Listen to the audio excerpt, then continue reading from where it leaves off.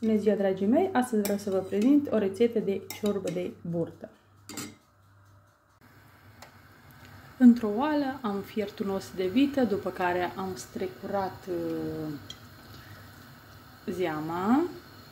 În altă apă am fiert burta, după aia am căltit-o foarte bine, iar acum o voi adăuga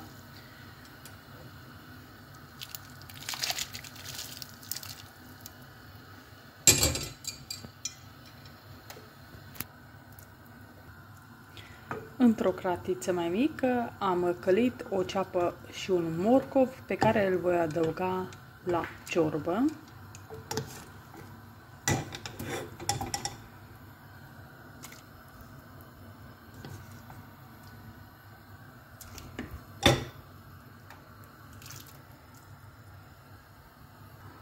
Voi mai lăsa ciorba la foc timp de câteva minute iar aici am făcut usturoiul, l-am pisat cu sare și îl voi adăuga la ciorbă.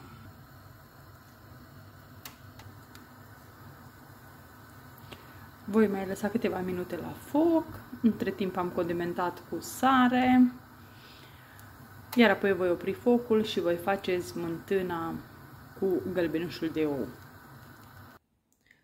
Într-un bol am pus smântâna și dau gălbenușuri, le voi amesteca foarte bine iar apoi le voi transfera în ciorbă.